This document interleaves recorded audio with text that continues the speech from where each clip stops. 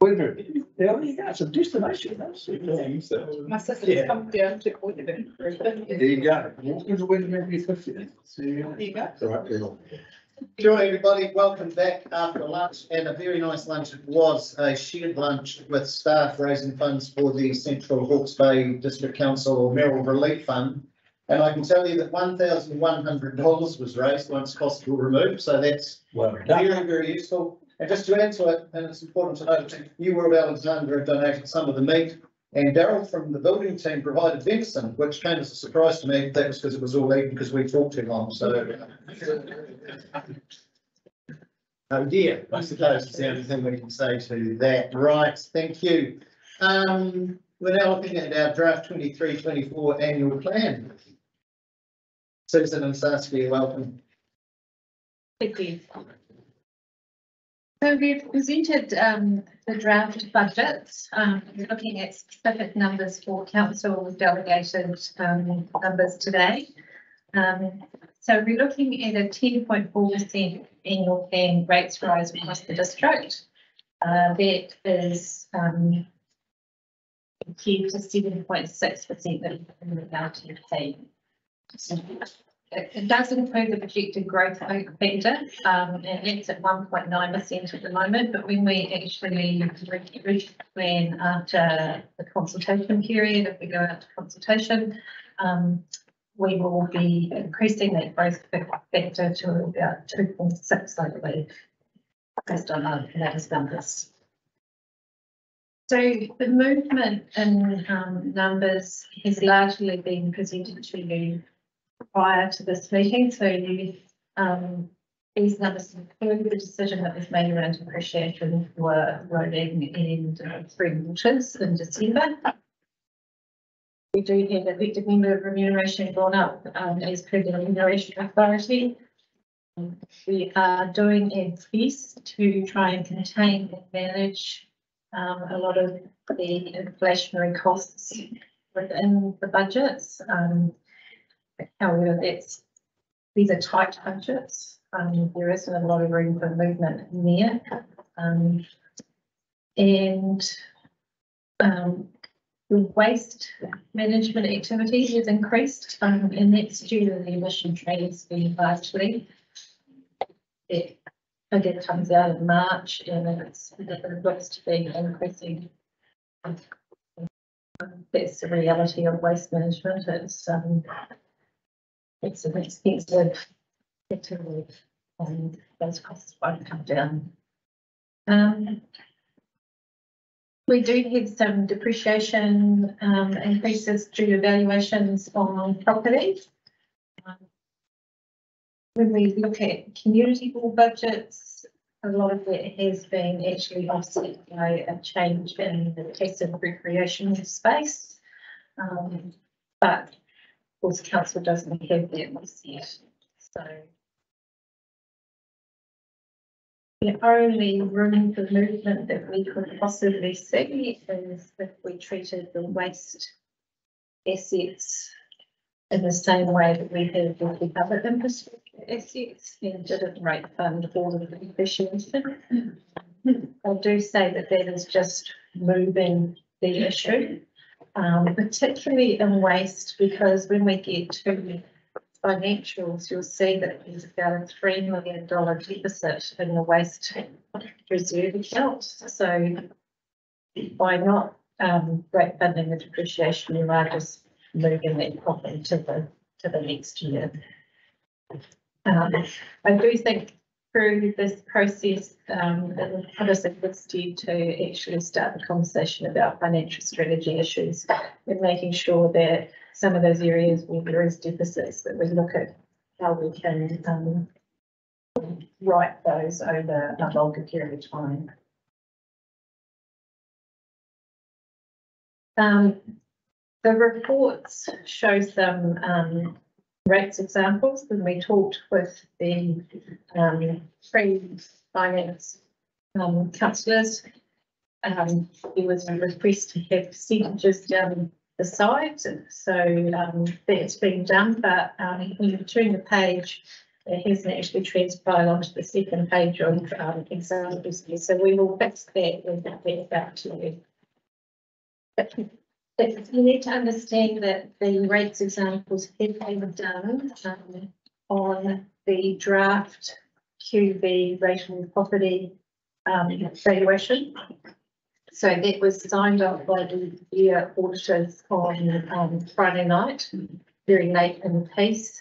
Um, and so they will be releasing those, um, very shortly. And there'll be a period of time where the community can come back and, um, and submit it. Um, they've said that the rate of submission against, um, evaluation is, um, not so great in times where valuations are going up. So, um, just to read a part of the media release that's going to come from them.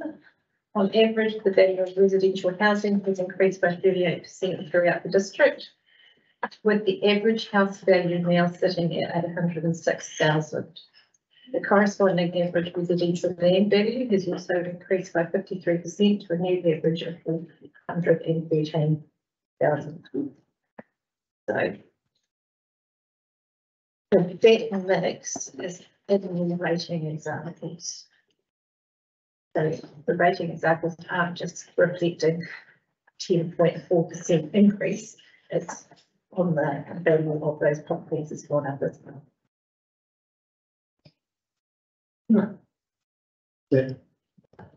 Questions, councillors? Only because of like, did you, did you just say that the numbers in here, the valuations in here reflect the new valuations that are coming? Was signed off on Friday. Yeah, I've got, yeah, I got that last one, just, yeah, that's one was right here, if you'd to. It was my, top of my question was as you were brilliant. So just to clarify, perhaps for new councillors, um, I'm trying to remember our last valuation round, which it affected, but Resident The- nineteen. nineteen, yeah. So, so if people's house prices go up, that doesn't necessarily cor- cor- cor- correlate that they, that word, that it will, um, that it will go up. But what happens is if you have a sector, so say Cromwell Farms suddenly become much more valuable, their percentage of the pie goes up. So it's not simply everything goes up as it goes up. You might find if, if, if, if Alexandra houses go up two percent and Cromwell Farms go up ten percent, then the amount of rates that the Cromwell Farms will pay will go up. And not accordingly, so it's not that simple, but it's, it's not as simple as if everything goes up, that causes the rates to go up. The amount of money that we need to get in is, It's the is, same. is what it's based on, it's how that price chopped up. Yeah, definitely. And with the growth factor that comes on, that means that you're spreading that by even further, so. Okay, questions, other questions, councillors? The, I've got one, and the growth factor you said is likely to increase to what? Two point six. Sorry, two point six? So it's one point nine at the moment, it's likely to go to two point six, so that's a difference of 0.7. Would that mean that that ten point four is likely to come down to nine point seven, or does it not work that way? Doesn't correlate quite. Quite correlate, but it, yeah, but it will have some downward pressure. The second question I have is a thinly disguised statement.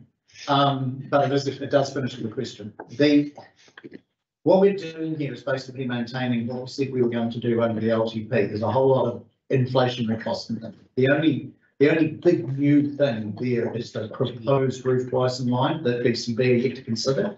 Yes. That's correct. Yes, indeed. Um, and we're just trying to touch base with that group to see whether their project looks the same as it did twelve months ago. Mm. Um, before we actually go through the process. So item line is included. Um, Thank you. In this budget, is there, I mean, at, at council level and including in our own lives, and we've even talked about it this morning, um, about, uh, about having, uh, contingency in this budget. I mean, are we working directly to costs or have we got contingencies built into some of these things so that we know that if there is overruns, given what we all talk about on a regular basis? It's a very fine line. Yeah. Um, we do factor contingencies into capital projects. However, because when you're looking at operational costs, you're to have a balanced budget, that's in the legislation. And if you build contingency in, what you're effectively doing if you don't need that contingency is um, for something that isn't real. So it's a very much a balanced, it's a balancing act and, um, we just need to be mindful, I guess, as if things do go wrong or inflation goes up or that we actually regroup on the reserve accounts at the end of that process and look at how we, how we would then fund that deficit going forward. And I think it's a step that's probably in this, of you, the reserve accounts.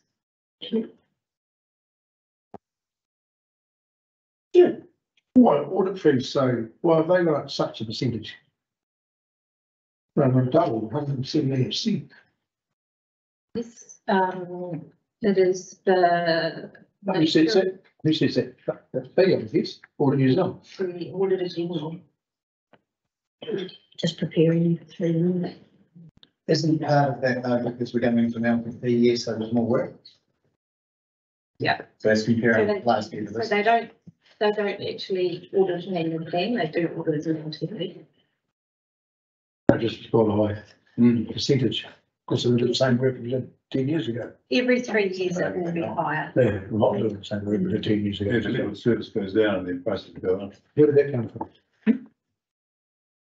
Further questions, Tam?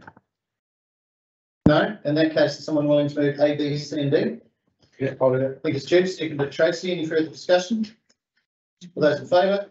Aye, against, carried. Many thanks to the staff. Those are the big things to progress. We're now on to page one, two, four with the financial report for the end, to the end of last year in the same team. Thank you. What was yours? Okay, um. A lot of this commentary is, um, actually looking out to be the same as what you've seen, um, at the last, end of last quarter. Um. We are working through, if I just look at, um, the second page, the expenditure page, uh, page one. that- Yeah. Did you do one thing?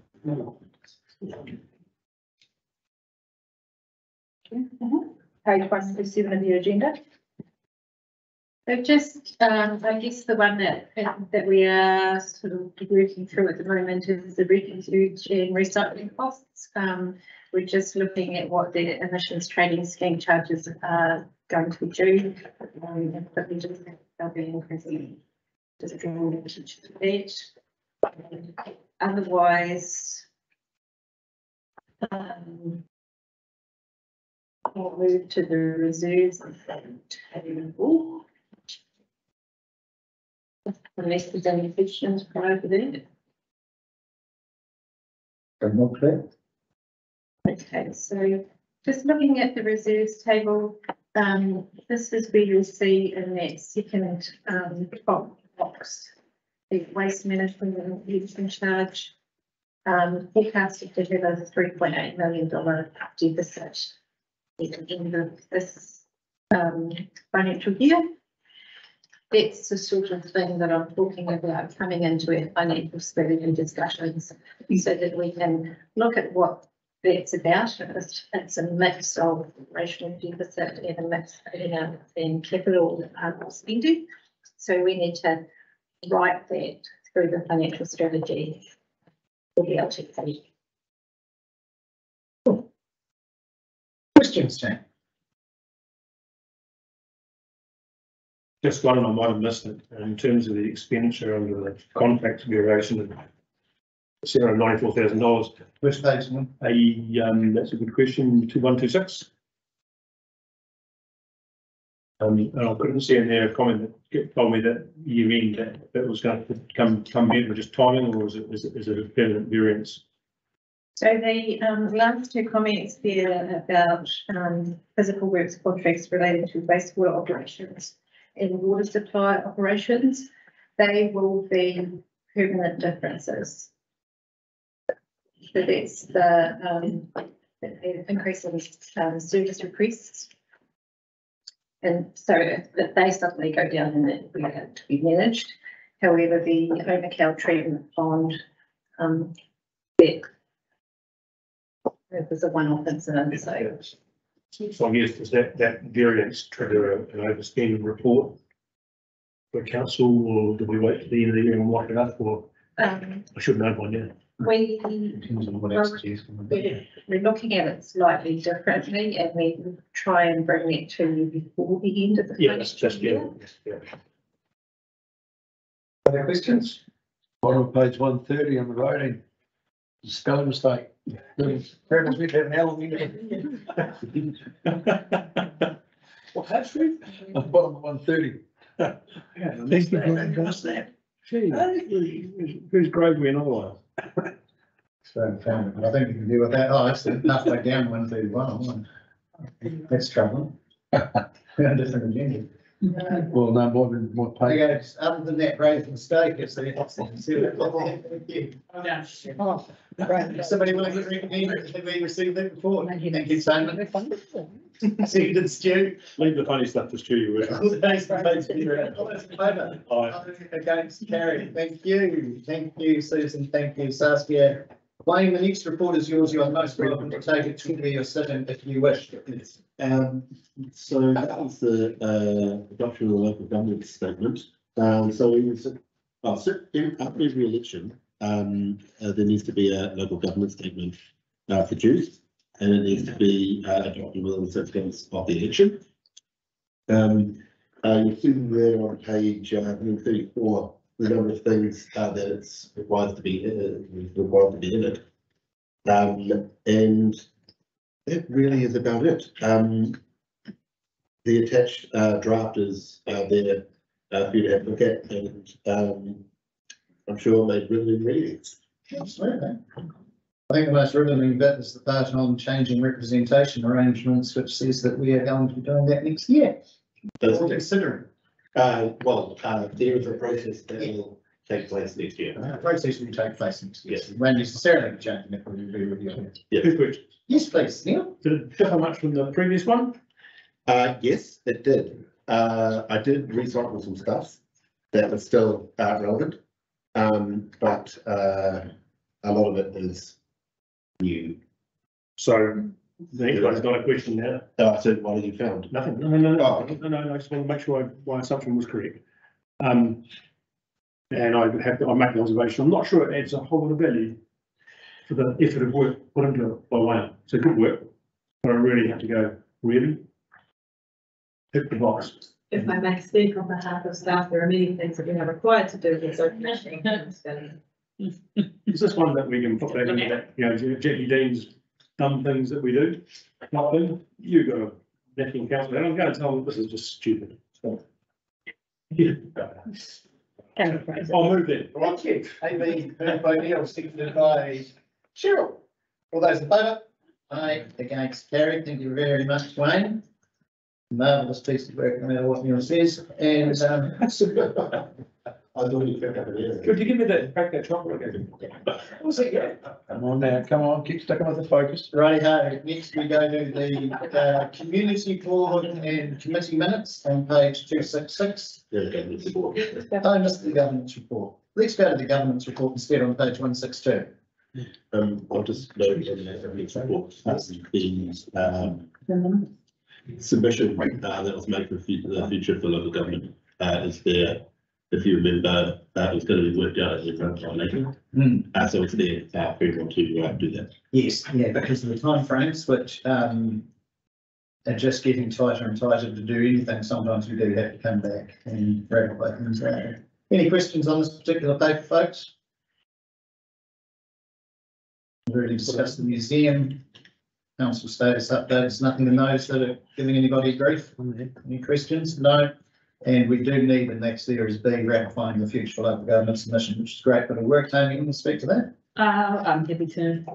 with the- Hey, have move? Yeah. Right, I Tony. think it's been through, uh, I would like to note the very good work by staff on what was a very complicated provocation document to have come up with a submission that is, I think, relatively clear and concise from a piece of work that was not buried, It's a great- a very well achieved. So you'll move to Andy? Yes, Thank you. So you second that, I'll second that, why not? Any further discussion? I just, like that it's not here, but, um, the submission that we gave to the Environment Committee on the RMA reforms. Um, that Ann Rogers led, um. It, it was a well put together piece of work and in fact, I think it's already been approved in a previous report, but the opportunity to actually make the presentation. Be interesting to see just what comes out of it, but it's work by, by Ann and her team. Louise, No, thank you. Um, so I'm being moved. No further discussion, all those in favour? Aye, against, carried, thank you. Now we go to the community board and committee minutes on page two six six. Which, um, is simply the minutes of the Vincent Community Board meeting, so, um, Interview. interview, Colin. really. Yes. I see what I've done there, yes, and TV, I think you're still not quite used to this system. Everyone happy with those? Yeah. Tony, you want to move those? Yes. Trey, um, Sally, do you want to second those? Any discussion? All those in favour, aye, and against, carried, page two eight six, will tell us that our next meeting is going to be the thirtieth of March, twenty twenty-three, and I'll now move for the reasons given on page two eight seven and two eight eight that we exclude the public and go into confidential, and Sarah will second that. Yeah. All those in favour? Aye, against, carried. Thank you very much, gentlemen. It's great to have you here. It's, um, it's really good. to have people running around, Yeah. taking our photos and keep it that.